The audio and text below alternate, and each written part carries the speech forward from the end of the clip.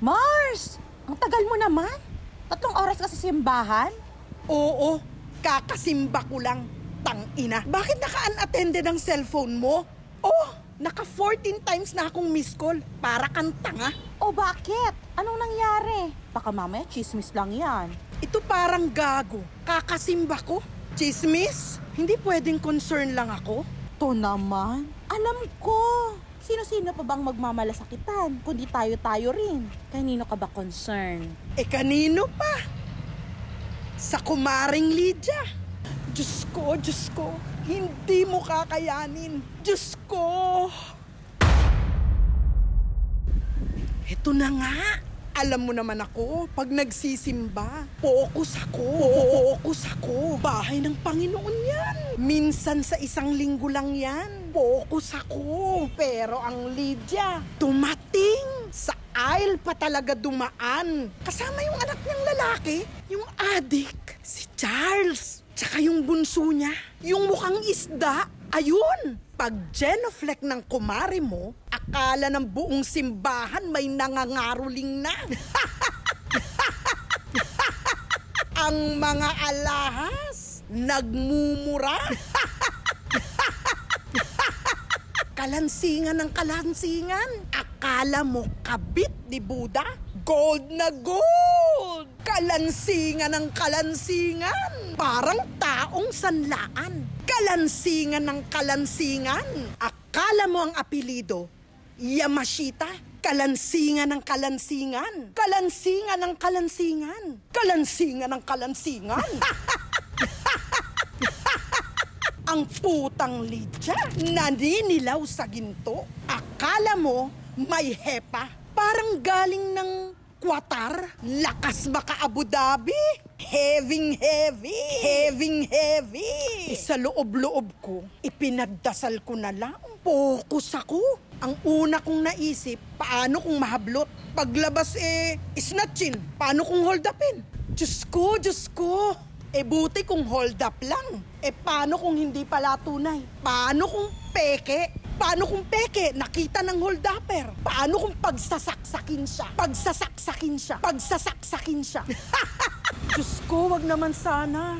Sabi ko sa dasal ko, mayabang siya eh. Halata mo. Para bang nang iinggit sa akin, hindi umuubra. Da ako naiinggit, da ako naiinggit, da ako naiinggit. Kaibigan ko siya eh. Nagmamalasakit ako. Eh sa iba, di ba? Hindi mo masabi. Baka, ewan natin, da ako naiinggit. Eto pa, hinihintay kong lingunin ako. Focus ako sa dasal eh. Biglang harap ng bunso ni Lydia. All smile, all smile.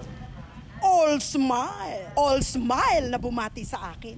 Naka-brace. Oo, putang ina. Naka-brace. Naka-brace. Naka-brace.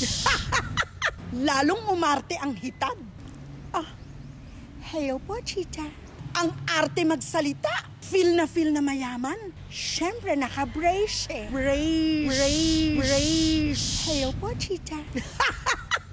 yung bunso niya, yung hindi ka mukha ni paring Rene. Ay, eto, teka. Shh. Wala si Rene. Wala ang paring Rene. O di ba ang usap-usapan? Parang di niya kamukha ang bunso.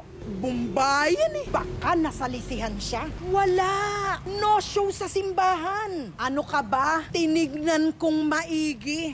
Pokus na pokus ako sa simbahan. Pokus ako. Pokus ako. Ama namin, hawak-hawak ng kamay. Wala ang Rene. Peace be with you. Wala. Ang pamilya ni Lydia, hindi lang simpleng peace be with you. Nagbeso-beso pa.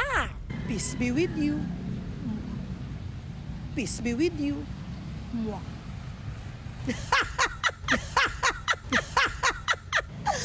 Ang yaman! Tapos tumingin sa likod si Lydia. Bumati sa likod. Kahit anong focus ko sa misa, napalingon ako. Si Scarlett, yung anak niyang umaga na umuwi, inaanak ko. Pumunot. Naglagay sa donation. 500. 500 pesos. Wow! Ang sabi ko, kailangan ba ipakita pang 500? Ang yaman! Pero parang may napansin ako sa tabi ni Scarlett. Diyos ko, Diyos ko, Diyos ko, hindi mo kakayanin. Muntik akong panawan ng ulirat nung makita ko. Nasa pinto ng simbahan. Sa dulo! Sa may sausawa ng holy water, may dalang stroller. Oo!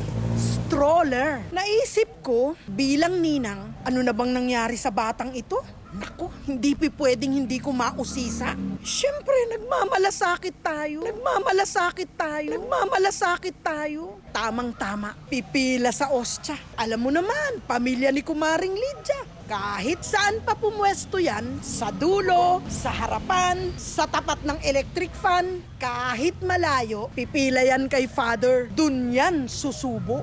Ang Scarlett, dalang stroller. Sumingit ako ng ganyan. Sumingit ako ng ganyan. Hindi ako nakapagpigil. Inangat ko ang takip ng stroller. Diyos ko, Diyos ko! Alam mo, anong laman? Tuta! Tang ina Mars! Aso! May chichu! Mahaba ang balahibo. May ipit na buto ang design. Chichu? Ilalagay sa stroller? Ano? Yaman na yaman sa sarili? Ang yaman! Ano na bang nangyayari sa pamilya ni Lydia? Ako? Okay na ako sa simpleng buhay. Kesa magkaroon ng konting pera. Tapos parang biglang nabaliw. Tang ina. Aso?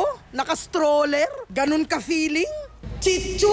Para sa lahat ng mga chismosa Magsitigil na naman kayo tang ina pansinin ang buhay ng iba. Dapat ang sarili niyo ang niyong pinupuna